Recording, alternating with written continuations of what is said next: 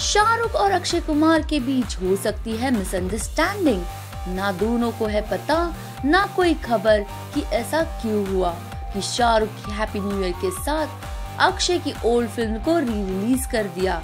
है ना confusing story तो सुनिए what exactly happened Sunil Darshan ने अक्षय कुमार स्टारर मूवी जानवर को री रिलीज़ किया in Mumbai on Diwali day and we all know कि Diwali was booked by SRK for his film Happy New Year. तो ये क्लियर होता है कि अक्षय कुमार ने शाहरुख से पंगा ले लिया but guys, you know what? Akshay को मूवी के री रिलीज़ के बारे में कोई क्ल्यू नहीं था and after he came to know he was not very happy about the decision we won the Darshan took such step